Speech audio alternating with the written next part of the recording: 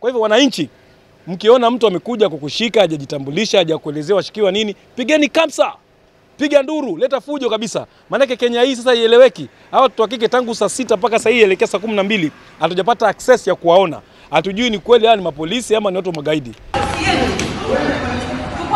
Video hii iliyochukuliwa saa sita mchana mnamo tarehe 20 Septemba mwaka 2024 kwenye mkahawa mmoja katikati mwa jiji la Mombasa inaonyesha mvutano kati ya wanawake wawili na watu wanaodai kuwa maafisa wa polisi bila sare zao rasmi wakijaribu kuwachukua kwa nguvu wanawake hawa huku wananchi wakitazama wasielewe kilichokuwa kinaendelea kwa wakati huo.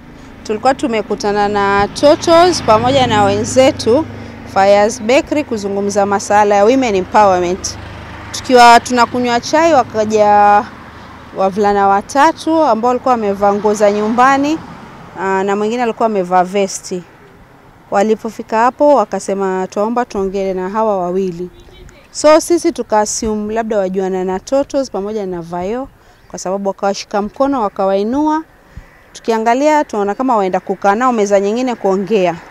Mimi nikafata nyuma nikiwa na wasiwasi, kwa nini wametoka nao nje. Kufika kwa, kwa nini barabara, mara naona wajaribu kumtia Totos kwa gari kwa lazima. Walikuwa wajaribu kumbeba wamtie kwa gari. Totoza akamwambia siingii kwa gari, akasema tuomba uingie kwa gari tuzungumze. Totoza akamwambia siingii kwa gari, na kama kuna mazungumzo yote hapa Fires Bakery kuna meza na viti tuweza zungumza. Totoza akarudi Fires Bakery.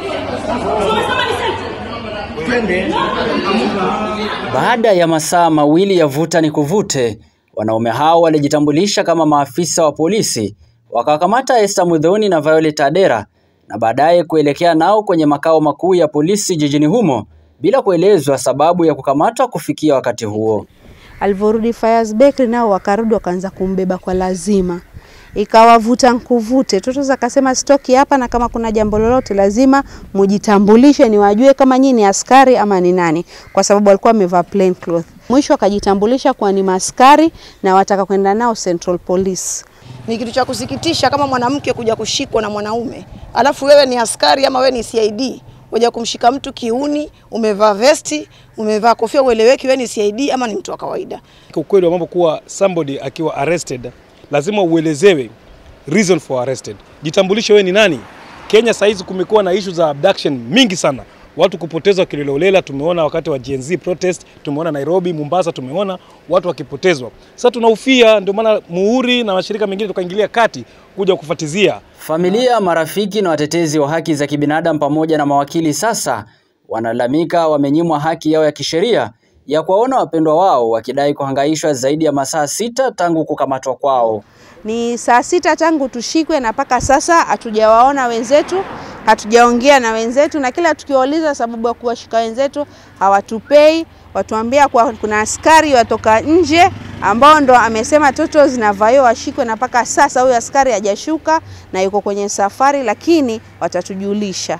Tumeita mawakili watatu, wamekuwa frustrated, hawaruhusiwi kuona hata hawa watu, hawaelezi wameshikiwa nini. Polisi wanasema ni order from the above. Sasa oda gani? Na tuko na sheria. Kitendo kilichofanyika leo ni kitendo cha kusikitisha zaidi, kwa sababu Mombasa tuwaona ubabe umekuwa watumika sana. Wanaharakati wenye ghadhabu sasa wanatishia kuwachukulia hatua za kisheria wahusika iwapo itabainika walivunja sheria wakati wa kitendo hicho. So polisi kama ni wao na ni DCI wanatumika vibaya. We won't allow this. We won't allow this na lazima tazungumzia, na tukipata kuwa kulikuwa na mafoul play vile wamefanya na kuwatesa watu wa kike, tutachukulia hatua za kisheria.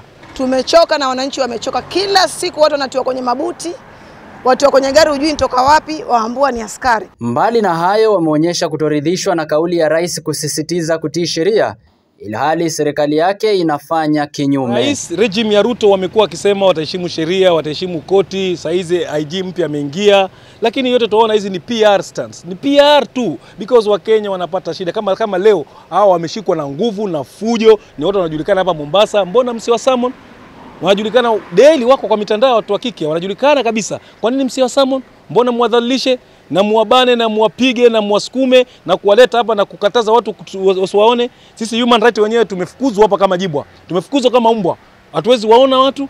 Kwa hivyo rais yeye akiongea aongee na kutenda, si kuongea tu kuplease umma.